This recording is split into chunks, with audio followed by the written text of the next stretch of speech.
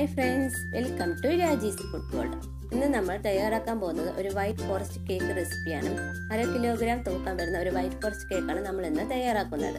അപ്പോൾ എങ്ങനെ കേക്ക് തയ്യാറാക്കുന്നത് നോക്കാം. വീഡിയോയിലേക്ക് പോകുന്നതിന് മുമ്പ് സബ്സ്ക്രൈബ് ചെയ്യാത്തവരുണ്ടെങ്കിൽ ചാനൽ ഒന്ന് സബ്സ്ക്രൈബ് ചെയ്യണേ. അതോടൊപ്പം വരുന്ന ബെല്ലൈക്കൺ എനേബിൾ ചെയ്ത് ഓൾ എന്ന ഓപ്ഷൻ ക്ലിക്ക് ചെയ്യുക. ആദ്യം കേക്കിനുള്ള ഡ്രൈ ഇൻഗ്രീഡിയൻസ് റെഡിയാക്കി എടുക്കാം. ഒരു ബൗളിന് മീതേക്ക് ഒരു അരിപ്പ് വെച്ച് കൊടുത്തിട്ടുണ്ട്.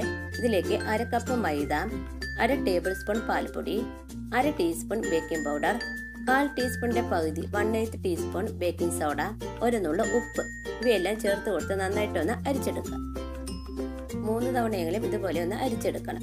അതല്ലെങ്കിൽ ഒരു തവണ അരിച്ചെടുത്തതിന് ശേഷം ഒരു വിസ്കോ സ്പൂൺ ഉപയോഗിച്ച് നന്നായിട്ടൊന്ന് മിക്സ് ആക്കി എടുക്കുക ഒരു ബൗളിലേക്ക് രണ്ട് മുട്ട പൊട്ടിച്ചൊഴിച്ചിട്ടുണ്ട്. ഇനി ഇതിലേക്ക് ഒരു മുക്കാൽ ടീസ്പൂൺ വാനില എസൻസും കൂടി ഒഴിച്ചു കൊടുത്തതിന് ശേഷം നന്നായിട്ട് ഒന്ന് ബീറ്റ് ചെയ്തെടുക്കാം. ഇലക്ട്രിക് ബീറ്റർ ഇല്ലെങ്കിൽ വിസ്ക് ഉപയോഗിച്ച് ബീറ്റ് ചെയ്താലും മതിയാകും. അതല്ലെങ്കിൽ ഒരു മിക്സർ ജാറിലിട്ട് നമുക്ക് വെറ്റ് ഇൻഗ്രീഡിയൻസ് റെഡിയാക്കി എടുക്കാവുന്നതാണ്. ഇതിലേക്ക് അര കപ്പ് പൊടിച്ച പഞ്ചസാര കുറേശ്ശെ ചേർത്ത് ബീറ്റ് ചെയ്തെടുക്കാം.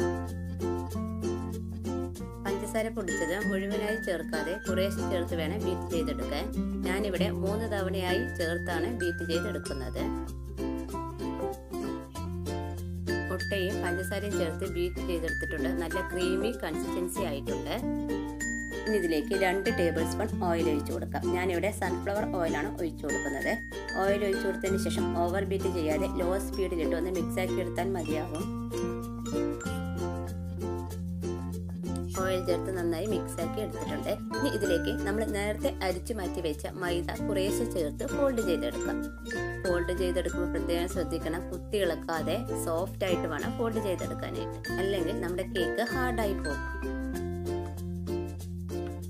മൈദ ചേർക്കുന്നതോടൊപ്പം തന്നെ രണ്ട് ടേബിൾ സ്പൂൺ പാൽ കൂടി ചേർത്ത് കൊടുത്ത് നമുക്ക് ഫോൾഡ് ചെയ്തെടുക്കാവുന്നതാണ്. പാൽ ഒരുമിച്ച് ചേർക്കാതെ കുറേശ്ശെ ചേർത്ത് ഫോൾഡ് ചെയ്തെടുക്കാം.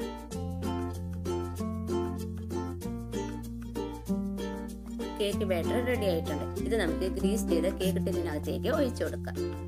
ഞാനിവിടെ ആറര ഇഞ്ച് സൈസുള്ള കേക്ക് ടിന്നാണ് എടുത്തിട്ടുള്ളത്. ഇതിലേക്ക് കുറച്ച് ഓയിൽ ഒന്ന് സ്പ്രെഡ് ചെയ്തതിന് ശേഷം മൈദയിട്ട് എല്ലായിടത്തും ഒന്ന് തള്ളി കൊടുത്തിട്ടുണ്ട്. അതിനുശേഷം ഇതിലേക്ക് ബട്ടർ പേപ്പർ വെച്ച് കൊടുക്കാം. ഇനി നമുക്ക് കേക്ക് ബാറ്റർ ഇതിലേക്ക് ഒഴിച്ചു കൊടുക്കാം. കേക്ക് ബാറ്റർ ഒഴിച്ചു കൊടുത്തതിന് ശേഷം നന്നായിട്ട് ഒന്ന് ടാപ്പ് ചെയ്തെടുക്കണം. എയർ ബബിൾസ് പോകുന്നവരെ ഒന്ന് ടാപ്പ് ചെയ്തെടുക്കാം. ഇനി പ്രീ ഹീറ്റ് ചെയ്യാൻ വെച്ച പാത്രത്തിനകത്തേക്ക് കേക്ക് ടീൻ ഇറക്കി വെച്ച് കൊടുക്കാം. അതിനുശേഷം ഇത് അടച്ചു വെച്ച് ബേക്ക് ചെയ്തെടുക്കാം. കേക്ക് ബേക്ക് ചെയ്യാൻ വെച്ചിട്ട് ഇരുപത് മിനിറ്റ് കഴിഞ്ഞിട്ടുണ്ട്. നമുക്കൊന്ന് തുറന്നു നോക്കാം. ഒരു ടൂത്ത് പിക്ക് വെച്ച് കേക്ക് ബേക്കായി ഒന്ന് ചെക്ക് ചെയ്യാം. ടൂത്ത് പിക്ക് ക്ലിയർ ആയി വന്നിട്ടുണ്ട്. നമ്മുടെ കേക്ക് ബേക്ക് ആയിട്ടുണ്ട് ഇനി നമുക്കിത് പുറത്തേക്ക് എടുക്കാം. കേക്ക് നന്നായി തണുത്തിട്ടുണ്ട്. ഇനി നമുക്കൊരു കത്തി ഉപയോഗിച്ച് ഇതിന്റെ സൈഡൊക്കെ ഒന്ന് വിടിവിച്ചു കൊടുക്കാം. അതിനുശേഷം നമുക്കിതൊന്ന് കമിത്തി കൊടുക്കാം. കേക്ക് ഡീമോൾഡ് ചെയ്തെടുത്തിട്ടുണ്ട്. ഇനി ഇതിന്റെ അടിയിലുള്ള ബട്ടർ പേപ്പർ ഒന്ന് മാറ്റി കൊടുക്കാം. നമ്മുടെ കേക്ക് നല്ല സോഫ്റ്റ് ആയി വന്നിട്ടുണ്ട്. അടിഭാഗം ഒന്നും കരിഞ്ഞിട്ടില്ല. നല്ല സോഫ്റ്റ് ആണ്.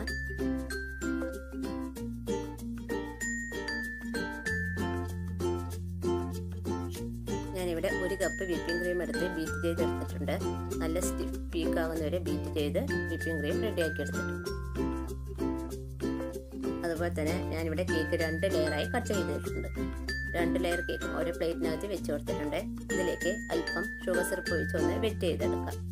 ഞാനിവിടെ അര കപ്പ് വെള്ളത്തിൽ കാൽ കപ്പ് പഞ്ചസാര ചേർത്ത് തിളപ്പിച്ച് തണുത്തതിന് ശേഷം ഫ്രിഡ്ജിൽ വെച്ചിട്ട ഷുഗർ സിറപ്പാണ് ഇത്. എന്നിട്ട് ടേൺ ടേബിളിൽ കൊടുത്ത് ഒരു കേക്ക് ബോർഡ് വെച്ച് കൊടുത്തിട്ടുണ്ട്. അതിലേക്ക് അല്പം ക്രീം ഒന്ന് അപ്ലൈ ചെയ്ത് കൊടുക്കാം. കേക്കിന്റെ ആദ്യത്തെ ലെയർ വെച്ച് കൊടുത്തിട്ടുണ്ട്. ബാക്കിയുള്ള ഷുഗർ സിറപ്പ് ഒഴിച്ച് നന്നായിട്ട് ഒന്ന് വെറ്റ് ചെയ്തെടുക്കാം. അതിനുശേഷം വിപ്പിംഗ് ക്രീം ഒന്ന് സ്പ്രെഡ് ചെയ്ത് ഒന്ന് ലെവലാക്കി എടുക്കാം.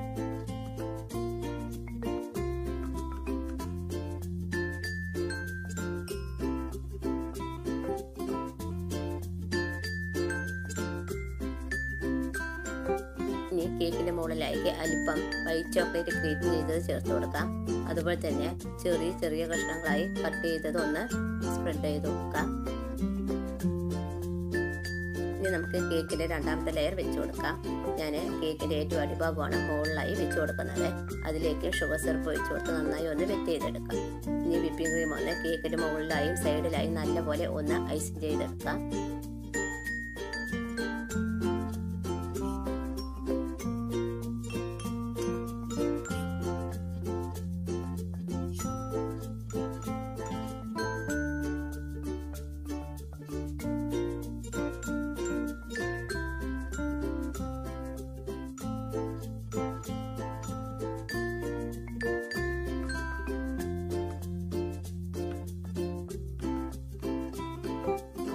ഞാനിവിടെ കേക്ക് ഐസിങ് ചെയ്തെടുത്തിട്ടുണ്ട്. കേക്കിന്റെ ചുറ്റും സൈഡിലായി വൈറ്റ് ചോക്ലേറ്റ് ഗ്രേറ്റ് ചെയ്തത് ഒരു കാർഡ് ഉപയോഗിച്ച് ഇതുപോലെ ഒന്ന് ചെയ്തെടുത്തിട്ടുണ്ട്. പൈപ്പിംഗ് ബാഗിനകത്ത് കുറച്ച് ക്രീം ഫിൽ ചെയ്തിട്ടുണ്ട്. സ്റ്റാർ നോസിൽ ഇട്ട് കൊടുത്തിട്ടുണ്ട്. അത് ഉപയോഗിച്ച് കേക്കിന് മുകൾ വശത്ത് ചുറ്റുമായി ഓരോ ഫ്ലവർ വരച്ചു കൊടുക്കാം.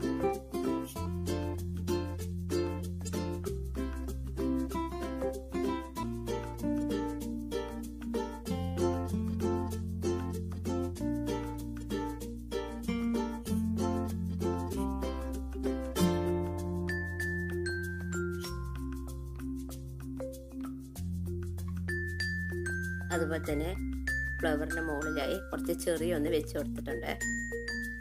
പേര് ചെയ്തതിന് ചുറ്റും കുറച്ച് വൈറ്റ് ചോക്ലേറ്റ് ക്രിയേറ്റ് ചെയ്തത് വെച്ച് കൊടുത്തിട്ടുണ്ട്. അങ്ങനെ നമ്മുടെ ഈസി ആയിട്ട് വൈറ്റ് ഫോറസ്റ്റ് കേക്ക് റെഡിയാക്കി എടുത്തിട്ടുണ്ട്.